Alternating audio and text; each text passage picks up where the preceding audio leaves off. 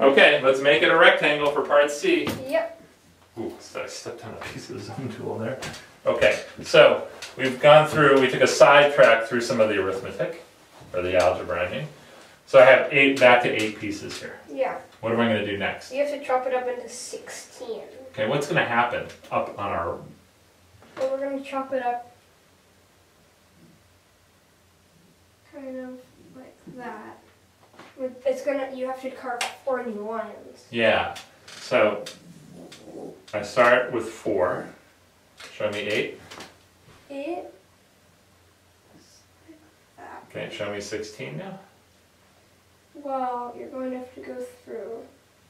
One, two, three, and four. There's sixteen. Yeah. What's this gonna look like now when I've chopped it up even finer? Well, it's gonna start looking like a rectangle. Okay, draw me a couple of the pieces. Not you don't have to draw all sixteen. Well, they're gonna look really tiny. Yeah, they are gonna look really tiny. And then there would be one on this side again. Uh huh. There you go. Up, up. Yeah, that's enough. It kind of like that, and it looks like it's getting straighter and straighter. Yeah, it's not always perfectly straight across the top, Now, but it is always half the circumference. Yep. Okay? And as you chop it up finer and finer, it starts looking straighter and straighter and straighter. And when you chop it up into infinite pieces, it will be straight. Yeah, But we can't chop it up to infinite pieces. we can't chop it up into infinite pieces. But we eventually start seeing a rectangle. Height's the radius. Width is the half the circumference. So. So what is the area of this rectangle if the height is r and the width is half the circumference?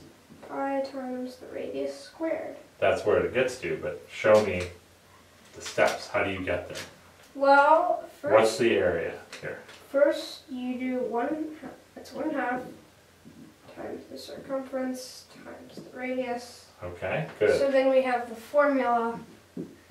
Pi is the circumference over the diameter, so that means circumference is pi times the diameter. Okay. So I can put that into here now. So I get one half The the pi, pi times the diameter times the radius. Okay? So now, well, cir, circum, the circumference over 2 is pi times the diameter over 2. Okay. So that means, well, we can get this into an equation. So we have pi times the diameter times the radius all over 2. Very good. And then the, the diameter is 2r, so Uh-huh. it's 2 radius. So you can replace that, the diameter with 2r. Yeah. So Pi times 2r times. times r. So then it's all over 2, and we can take this 2 out. So we get pi times r times r, so it's just pi times radius squared. Hey, how about that? Is that pretty neat? Yeah. I think so too. Um, so there's why the area of a circle is pi r squared. Yeah. Pretty fun. Yeah. Okay. Good job. Good job.